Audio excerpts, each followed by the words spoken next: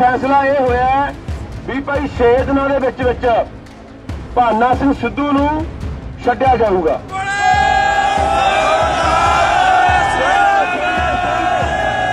ਲਓ ਸੁਣ ਲਓ ਸੁਣ ਲਓ ਬਥੇਰੇ ਆਗੂਆਂ ਉਹਦੇ ਘਰਾਂ ਦੇ ਬੰਦ ਹੋ ਗਏ, ਮੈਂ ਵੀ ਹੋ ਸਕਦਾ ਸੀਗਾ, ਮੈਂ ਵੀ ਕਹਿੰਦਾ ਮੈਂ ਫੜ ਲਿਆ। ਪਰ ਮੇਰਾ ਵੀਰ, ਮੈਂ ਕਹਿੰਦਾ ਧੰਨਵਾਦ ਕਰਨ ਜੇ ਛੋਟੀ ਹੈ ਯਾਰ ਇਹ। ਇਹ ਨੂੰ ਨਹੀਂ ਵੀ ਇਹ ਭਰੋਸਾ ਦੇ ਕੇ ਆਪਾਂ ਨੂੰ ਮੁੱਕਰ ਜਾਂਦੇ ਆ। ਫਿਰ ਕੀ, ਕਿੱਧਰ ਗਈ ਫਿਰ ਗੱਲ? ਆਪਾਂ ਮਰ ਗਏ ਕਿ ਇੱਥੇ? ਜਾਂ ਇਹ ਭੱਜ ਗਏ? ਜਾਂ ਧਰਤੀ ਭੱਜ ਗਈ, ਜਾਂ ਸੜਕਾਂ ਰੇਲ ਦੀਆਂ ਭੱਜ ਗਈਆਂ, ਜਾਂ ਮੁੱਖ ਮੰਤਰੀ ਦੀ ਕੋਠੀ ਭੱਜ ਗਈ ਦੇ ਪਾਸੇ ਪਾਨਾ ਸਿੱਧੂ ਦੀ ਰਿਹਾਈ ਦਾ ਮੋਰਚਾ ਆਖਿਰਕਾਰ ਫਤਿਹ ਕਰ ਲਿਆ ਗਿਆ ਜੀ ਹਾਂ ਪਾਨਾ ਸਿੱਧੂ ਜਲਦ ਜੇਲ੍ਹ ਤੋਂ ਰਿਹਾ ਹੋਵੇਗਾ। ਉਹ ਵੀ ਬਿਨਾਂ ਕਿਸੇ ਜ਼ਮਾਨਤ ਜਾਂ ਫਿਰ ਕਿਸੇ ਹੋਰ ਸ਼ਰਤ ਦੇ। ਦਰਸਲ ਸੰਗਰੂਰ 'ਚ ਪਾਨਾ ਸਿੱਧੂ ਦੀ ਰਿਹਾਈ ਨੂੰ ਲੈ ਕੇ ਜਥੇਬੰਦੀਆਂ ਅਤੇ ਪੁਲਿਸ ਪ੍ਰਸ਼ਾਸਨ ਵਿਚਾਲੇ ਸਹਿਮਤੀ ਬਣ ਗਈ ਹੈ ਜਿਸ ਦਾ ਐਲਾਨ ਖੁਦ ਲੱਖਾ ਸਿਧਾਣਾ ਨੇ ਕੀਤਾ ਹੈ ਲੱਖਾ ਸਿਧਾਣਾ ਮੁਤਾਬਕ ਪੁਲਿਸ ਪ੍ਰਸ਼ਾਸਨ ਨੇ ਪਾਨਾ ਸਿੱਧੂ ਨੂੰ 6 ਦਿਨਾਂ ਅੰਦਰ ਛੱਡਣ ਦਾ ਭਰੋਸਾ ਦਿੱਤਾ ਹੈ ਲਿਖਤੀ ਰੂਪ ਦੇ ਵਿੱਚ ਸਮਝੌਤਾ ਹੋਇਆ ਪਹਿਲਾਂ ਵੀ ਇੱਕ ਦਿਨ ਲੰਮੀ ਚੌੜੀ ਮੀਟਿੰਗ ਚੱਲੀ ਸੀ ਸਾਰੇ ਕਿਸਾਨ ਆਗੂ ਦੀ। ਬਰਨਾਲੇ ਪਰ ਉਸ ਦਿਨ ਇੱਕੋ ਗੱਲ ਦੇ ਉੱਤੇ ਗੱਲ ਲੜੀ ਰਹੀ।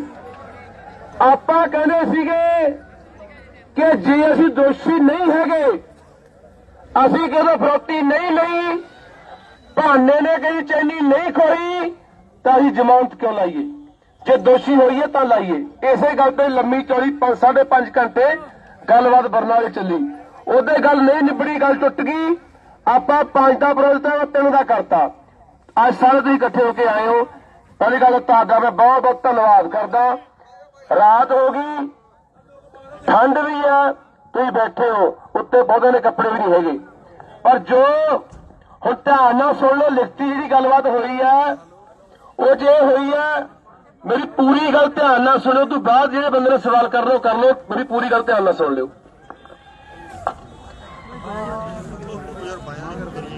ਅੱਜ ਮਿਤੀ 3/2/24 ਨੂੰ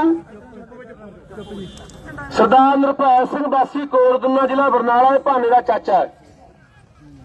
ਜਿਹਨੇ ਇੱਕ ਦਰਖਾਸਤ ਆਪਾਂ ਉਹਦੇ ਦੇ ਦਿੱਤੀ ਸੀਗੀ ਵੀ ਸਾਡੇ ਦੇ ਝੂਠੇ ਭਾਈ ਮੁਕੱਦਮੇ ਦਰਜ ਕੀਤੇ ਗਏ ਆ ਉਹ ਰੱਦ ਕੀਤੇ ਜਾਣ। ਉਹਦੇ ਆਧਾਰ ਦੇ ਉੱਤੇ ਅੱਜ ਜਿਹੜਾ ਫੈਸਲਾ ਹੋਇਆ ਹੈ, ਇਹ ਫੈਸਲਾ ਇਹ ਹੋਇਆ ਵੀ ਭਾਈ 6 ਦਿਨਾਂ ਦੇ ਵਿੱਚ ਵਿੱਚ ਭਾਨਾ ਸਿੰਘ ਸਿੱਧੂ ਨੂੰ ਛੱਡਿਆ ਜਾਊਗਾ।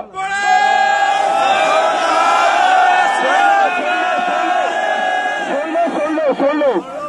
ਬਹੁਤ ਪਿਆਰਾ ਨੌਜਵਾਨਾਂ ਦਾ ਮੈਨੂੰ ਸਵਾਲ ਸੀ ਕਿ ਭਾਈ ਅੱਜ ਕਿਉਂ ਨਹੀਂ? ਤਾਂ ਉਹਨੂੰ ਜਵਾਬ ਦੇਣ ਲੱਗਿਆ, ਉਹ ਚ ਛੇ ਤਾਂ ਮਦਈ ਹੁੰਦੀ ਪੁਲਿਸ। ਤਾਂ ਨਾਲ ਦੀ ਨਾਲ ਇਹ ਕੈਂਸਲ ਕਰਕੇ ਤੇ ਅੱਜ ਹੀ ਛੱਡ ਦਿੰਦੇ। ਮਦਈ ਨੇ ਪ੍ਰਾਈਵੇਟ ਬੰਦੇ ਜਿਹੜਾ ਕਹਿੰਦਾ ਹੁਣ ਜਿਹੜੀ ਚੈਨੀ ਖੋਈ ਆ ਬੇਸ਼ੱਕ ਖੜੇ ਪੁਲਿਸ ਨੇ ਕੀਤੇ ਸਰਕਾਰ ਨੇ ਕੀਤੇ ਆ ਮਦਈ ਆ ਜਿਹੜਾ ਕਹਿੰਦਾ 10000 ਰੁਪਇਆ ਤੇ ਫਰੋਤੀ ਲਈ ਹੈ। ਉਹਨਾਂ ਵੱਲੋਂ ਕਾਨੂੰਨੀ ਪ੍ਰਕਿਰਿਆ 'ਚ ਲਿਆ ਕੇ ਪੜਤਾਲ ਕਰਕੇ ਉਹਨੂੰ ਇਹਨਾਂ ਨੇ ਆਪਾਂ ਤੋਂ 9 ਤਰੀਕ ਦੀ 9 ਤਰੀਕ ਤੱਕ ਦਾ ਸਮਾਂ ਮੰਗਿਆ ਵੀ ਹੈ ਜੀ? 10 10 ਤਰੀਕ ਤੱਕ। ਅੱਜ ਕੱਲ ਨੂੰ ਐਤਵਾਰ ਹੈ 10 ਤਰੀਕ ਤੱਕ ਦਾ ਸਮਾਂ ਮੰਗਿਆ ਵੀ 10 ਤਰੀਕ ਤੱਕ ਅਸੀਂ ਉਹਦੀ ਰਿਹਾਈ ਜਿਹੜੀ ਉਹ ਯਕੀਨੀ ਬਣਾ ਦੇਵਾਂਗੇ ਸਹਿਮਤ ਹੋ ਬਈ ਅਗਲੀ ਗੱਲ ਅਗਲੀ ਗੱਲ ਸੁਣ ਲਓ ਬਈ ਸੁਣ ਲਓ ਉਧਰ ਇਸ ਮੌਕੇ ਪੁਲਿਸ ਪ੍ਰਸ਼ਾਸਨ ਵੀ ਮੌਕੇ ਤੇ ਪਹੁੰਚਿਆ, ਜਿਨ੍ਹਾਂ ਨੇ ਲੱਖਾ ਸਿਧਾਣਾ ਦੀ ਹਾਂ ਵਿੱਚ ਹਾਂ ਮਿਲਾਉਂਦਿਆਂ ਐਲਾਨ ਕੀਤਾ ਹੈ ਕਿ ਜਲਦ ਹੀ ਪਾਨਾ ਸਿੱਧੂ ਨੂੰ ਰਿਹਾ ਕਰ ਦਿੱਤਾ ਜਾਵੇਗਾ ਜਦਕਿ ਉਹਨਾਂ ਦੀਆਂ ਹੋਰ ਮੰਗਾਂ ਨੂੰ ਵੀ ਮੰਨ ਲਿਆ ਗਿਆ ਹੈ। ਇਲਾਕਾ ਨਿਵਾਸੀਓ, ਅੱਜ ਸਾਰੇ ਹੀ ਸਾਡੇ ਜਿਹੜੇ ਤੁਹਾਡੇ ਨਾਲ ਵੀਰ ਔਰ ਸਾਰੇ ਇਕੱਠੇ ਹੋਏ ਨੇ। ਕਿਸਾਨ ਯੂਨੀਅਨ ਦੇ ਪਲੱਸ ਜਿਹੜੇ ਲੀਡਰ ਆਏ ਨੇ ਐਡਮਿਨਿਸਟ੍ਰੇਸ਼ਨ ਦੇ ਨਾਲ ਬੈਠ ਕੇ ਵਿਚਾਰ ਹੋਇਆ। ਅੱਗੇ ਵੀ ਆਪਾਂ ਬਹੁਤ ਸਾਰੇ ਕਰਦੇ ਰਹਿੰਦੇ ਆ ਔਰ ਤੁਹਾਨੂੰ ਮੈਂ ਅੱਜ ਇਹ ਗੱਲ ਕਹਿਣਾ ਚਾਹੁੰਦਾ ਕਿ ਜਿਹੜਾ ਯੂਥ ਇੱਥੋਂ ਦਾ ਹੈ ਜਾਂ ਆਪਣੇ ਪੰਜਾਬ ਦਾ ਹੈ, ਇਹ ਇੱਕ ਬਹੁਤ ਵੱਡਾ ਇੱਕ ਐਸੈਟ ਹੈ। ਇਹ ਆਪਾਂ ਯੂਥ ਜਿਹੜਾ ਜਾਂ ਜਿਹੜੀ ਜਵਾਨੀ ਹੈ, ਇਹਨੂੰ ਆਪਾਂ ਬਿਲਕੁਲ ਜਿਹੜਾ ਉਹ ਇਹਦੇ ਵਿੱਚ ਕੋਈ ਸ਼ੱਕ ਨਹੀਂ ਕਿ ਇਹੀ ਆਉਣ ਵਾਲਾ ਸਾਡਾ ਫਿਊਚਰ ਹੈ। ਸੋ ਇੰਨੀ ਗੱਲ ਕਹਿੰਦਾ ਹੋਇਆ, ਅੱਜ ਜਿਹੜੀ ਹੈ, ਜਿੱਦਾਂ ਦੱਸਿਆ ਕਿ ਇੱਕ ਲਿਖਤੀ ਰੂਪ ਦੇ ਵਿੱਚ ਹੋਇਆ। ਸੋ ਉਹਦੇ ਮੁਤਾਬਕ ਆਪਾਂ ਇਹ 6 ਦਿਨਾਂ ਦੇ ਵਿੱਚ ਵਿੱਚ ਜਿਹੜਾ ਏਡੀਏ ਸਾਹਿਬ ਮੇਰੇ ਨਾਲ ਖੜੇ ਨੇ, ਇਹ ਸਾਰਾ ਰੇਂਜ ਉਹਨਾਂ ਦੇ ਕੋਲ ਹੈ। ਔਰ ਇਹ 6 ਦਿਨਾਂ ਦੇ ਵਿੱਚ ਇਹ ਸਾਰੀ ਚੀਜ਼ ਦਾ ਨਿਪਟਾਰਾ ਆਪਾਂ ਕਰ ਦਿਆਂਗੇ। ਇਹ ਗੱਲ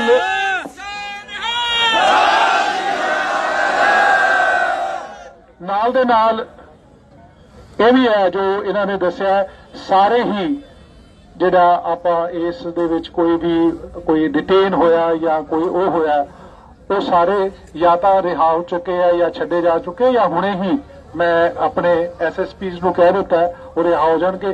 ਫਿਰ ਵੀ ਜੇ ਕਿਸੇ ਦਾ ਕੋਈ ਕੋਈ ਲੱਗਦਾ ਹੋਏਗਾ ਤੇ ਇੱਥੇ ਐਸਐਸਪੀ ਨੇ ਡੀਆਈਜੀ ਨੇ ਕਿਸੇ ਵੀ ਟਾਈਮ ਇਹਨਾਂ ਨੂੰ ਤੁਸੀਂ ਦੱਸ ਸਕਦੇ ਹੋ ਬਟ 100 ਦੀ 200% ਇਹ ਮੈਂ ਇੱਥੇ ਅਨਾਉਂਸ ਵੀ ਕਰ ਦਿੱਤਾ, ਉਹ 100% ਹੋ ਜਾਏਗਾ। ਇਸ ਤੋਂ ਇਲਾਵਾ ਕੁਝ ਇਹਨਾਂ ਨੇ ਦੱਸਿਆ ਸੀ ਕਿ ਕੋਈ ਮੋਬਾਈਲ ਜਾਂ ਕੋਈ ਚੀਜ਼ ਇਹੋ ਜਿਹੀ ਹੋਈ ਹੈ, ਉਹਨੂੰ ਆਪਾਂ ਭਰਪਾਈ ਕਰ ਦਿਆਂਗੇ। ਪਰ ਜਿਹੜਾ ਵਿਸ਼ਵਾਸ ਹੁੰਦਾ, ਇਹ ਬਹੁਤ ਵੱਡੀ ਗੱਲ ਹੁੰਦੀ ਹੈ। ਔਰ ਇਹਦੇ ਤੇ ਹੀ ਸਾਰੀ ਉਹ ਆਪਣੀ, ਇਹ ਸਾਰੀ ਚੀਜ਼ ਚੱਲਦੀ ਹੈ। ਔਰ ਮੈਂ ਇੱਥੇ ਫਿਰ ਤੁਹਾਨੂੰ ਵਿਸ਼ਵਾਸ ਦਿਵਾਉਣਾ ਚਾਹੁੰਦਾ ਕਿ ਖਾਸ ਕਰਕੇ ਆਪਣਾ ਜਿਹੜਾ ਯੂਥ ਹੈ, ਉਹ ਸਾਡੇ ਬਹੁਤ ਨਜ਼ਦੀਕੀ ਹੈ। ਮੈਂ ਤਾਂ ਇਹ ਪੁਲਿਸ ਐਜ਼ ਅ ਪੁਲਿਸ ਅਫਸਰ ਵੀ ਕਹਿੰਦਾ। ਮੈਂ ਤਾਂ ਇਹ ਤੋਂ ਪਹਿਲਾਂ ਇੱਕ ਪ੍ਰੋਫੈਸਰ ਆ, ਖਾਲਸਾ ਕਾਲਜ ਪੜਾਉਂਦਾ ਰਿਹਾ। ਔਰ ਮੇਰੇ ਖਿਆਲ ਮੇਰੇ ਵਾਸਤੇ ਜਿਹੜਾ ਯੂਥ ਹੈ, ਮੈਂ ਸਮਝਦਾ ਕਿਸੇ ਵੀ ਸਟੇਟ ਕਿਸੇ ਵੀ ਜਗ੍ਹਾ ਦਾ ਬਹੁਤ ਵੱਡਾ ਐਸੈਟ ਹੈ ਔਰ ਤੁਸੀਂ ਸਾਰੇ ਹੀ ਸਾਡੇ ਲਈ ਬਹੁਤ ਮਡੂਲੇ ਔਰ ਜੇ ਕੋਈ ਕਮਿਊਨੀਕੇਸ਼ਨ ਗੈਪ ਰਹਿ ਗਿਆ ਜਾਂ ਕੋਈ ਆਪਸ ਦੇ ਵਿੱਚ ਰਹਿ ਗਿਆ, ਉਹ ਬਿਲਕੁਲ ਨਿਪਟਾਰਾ ਹੋ ਜਾਏਗਾ। ਇੰਨੀਆਂ ਗੱਲਾਂ ਕਹਿੰਦਾ ਹੋਇਆ, ਮੈਂ ਤੁਹਾਨੂੰ ਫੇਰ ਫਤਿਹ ਬੁਲਾਉਣਾ ਸਤਿ ਸ਼੍ਰੀ ਅਕਾਲ ਔਰ ਤੁਸੀਂ ਆਪ ਦਾ ਧਿਆਨ ਰੱਖੋ। ਹੁਣ ਆਰਾਮ ਦੇ ਨਾਲ ਜਾਇਓ। ਥੈਂਕ ਯੂ ਵੈਰੀ ਮਚ ਹਾਲਾਂਕਿ ਇਸ ਦੌਰਾਨ ਕੁਝ ਨੌਜਵਾਨਾਂ ਨੇ ਇਸ ਦਾ ਵਿਰੋਧ ਵੀ ਕੀਤਾ, ਜਿਨ੍ਹਾਂ ਮੰਗ ਕੀਤੀ ਕਿ ਪਾਨਾ ਸਿੱਧੂ ਨੂੰ ਅੱਜ ਹੀ ਰਿਹਾ ਕੀਤਾ ਜਾਵੇ। ਪਰ ਇਸ ਦੌਰਾਨ ਲੱਖਾ ਸਿਧਾਣਾ ਨੇ ਉਹਨਾਂ ਨੂੰ ਭਰੋਸਾ ਦਿਵਾਇਆ ਕਿ ਪਾਨਾ ਸਿੱਧੂ ਨੂੰ 10 ਫਰਵਰੀ ਤੱਕ ਕਿਸੇ ਵੀ ਹਾਲਤ ਵਿੱਚ ਬਾਹਰ ਲਿਆਂਦਾ ਜਾਵੇਗਾ।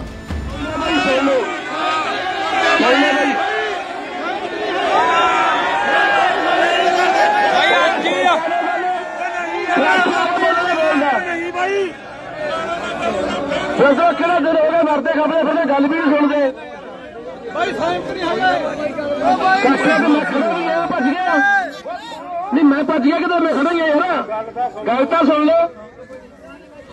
ਬਥੇਰੇ ਆਗੂ ਉਹਦੇ ਘਰਾਂ ਦੇ ਬੰਦ ਹੋ ਗਏ ਮੈਂ ਵੀ ਹੋ ਸਕਦਾ ਸੀਗਾ, ਮੈਂ ਵੀ ਕਹਿੰਦਾ ਮੈਨੂੰ ਫੜ ਲਿਆ। ਪਰ ਮੇਰਾ ਵੀਰ, ਮੈਂ ਕਹਿੰਦਾ ਧੰਨਵਾਦ ਕਰ ਜੇ ਛੋਟੀ ਆ ਯਾਰ ਛੋਟੇ ਜੇ ਕਮਾਲ ਕਰਦਾ ਮੇਰੀ ਗੱਲ ਪਈ ਜਾਂਦੇ ਯਾਰ ਮੈਂ ਗੱਲ, ਜਿਹੜੀ ਗੱਲ ਦੇਖ, ਜਿਹੜੀ ਗੱਲ ਕਾਨੂੰਨੀ ਪ੍ਰਕਿਰਿਆ ਚ ਆ ਕੇ ਛੱਡਿਆ ਜਾਊਗਾ, ਮੰਨ ਲਓ, ਇਹ ਦਸ ਨੂੰ ਨਹੀਂ ਵੀ ਛੱਡਦੇ, ਇਹ ਭਰੋਸਾ ਦੇ ਕੇ ਆਪਾਂ ਨੂੰ ਮੁੱਕਰ ਜਾਂਦੇ ਆ। ਫਿਰ ਕੀ, ਕਿੱਧਰ ਗਈ ਫਿਰ ਗੱਲ?